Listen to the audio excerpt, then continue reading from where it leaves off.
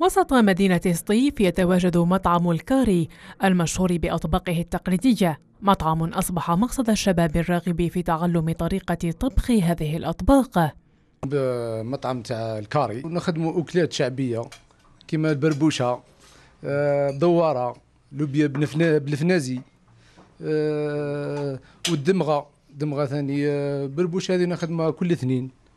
ويجيو لنا ثاني اللي مشتريه نرحبوا بهم شعبيه كبيرة و وفيها يجيونا الزوالية يجيونا آه، من من الولايات الأخرين.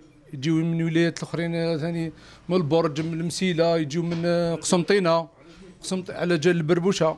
الاسطوره تاعنا لهنا هذه على بالك يجيونا لجان نعلموهم.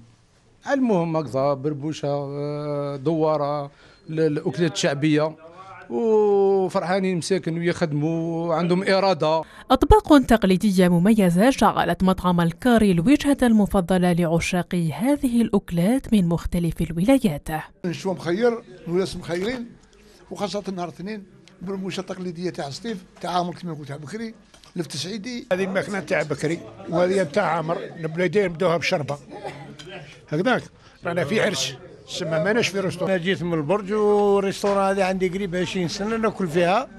أخير restaurant قطر سطيف لنا ما نقولكش في النظافة في الماكلة في البنة. هذه أطباق أطباق تقليدية ص- آه، صيفية لذيذة نعرفوها. وكل اثنين نجيو عند خو- عند عند خونا حسين كاملي. ال- البربوش هذه راهو طعم يعني آه، طبق صيفي لذيذ. نجيو نجيو على جالو. معروف رغم التواضع تاع المحل تاعو ورغم رغم الحي انه شعبي لا أن الناس تقصدوا من كل الفئات. كل الناس تلقاه تنتظر يوم الاثنين الرمز تاعنا وشنو هو؟ الكسكس الدرجة الأولى بربوشة. تحافظ الأطباق التقليدية وبمرور السنوات على عشاق لها لا تنسيهم فيها نظيرتها العصرية.